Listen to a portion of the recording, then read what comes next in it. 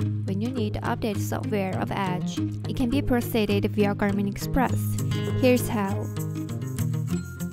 First, connect your Edge to a computer with a USB cable. Please make sure the computer has installed Garmin Express. Next, open Garmin Express.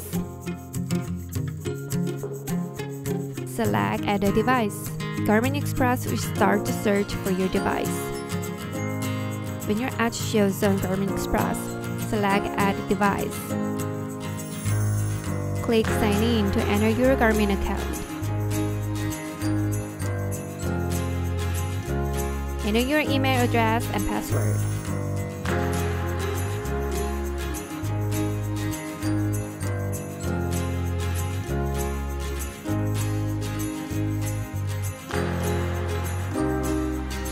Give your device a nickname so you can quickly recognize it in your list of products.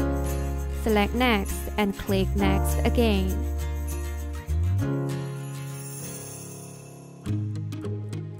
This is where you will see all available updates for the device. If you can see the install button, it means your Edge is up to date. Then select Install. Click Accept. You will be guided through the update process step by step.